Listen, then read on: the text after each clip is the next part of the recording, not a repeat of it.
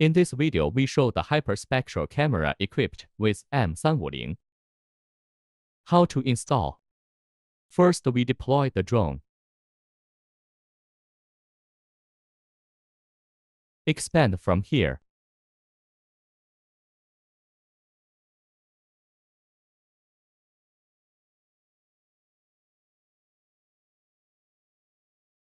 After unfolding, fasten the fixing buckles here.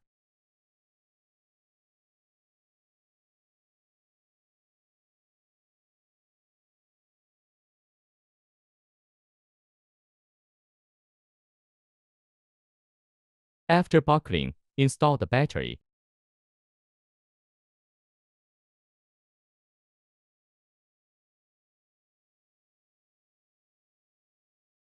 Finally tighten this knob. The drone is now installed.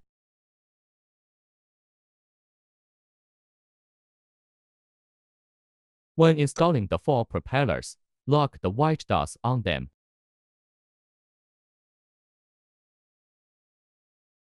This will ensure that the rotor installation is stable.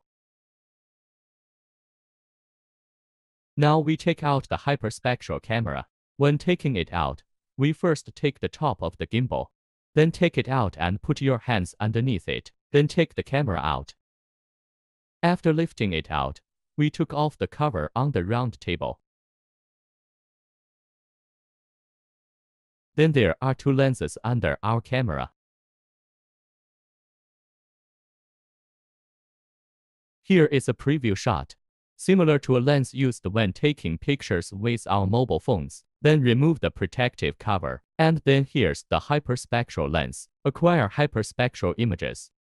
And now we put it on the drone. Now install the camera. When installing, the camera's gimbal faces backwards.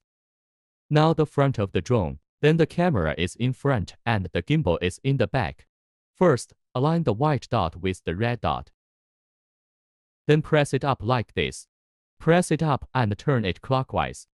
Red dot versus red dot after rotation. The camera is now installed. We can rotate it counterclockwise. It won't move. Now the camera is installed. After installation, let S hold the camera.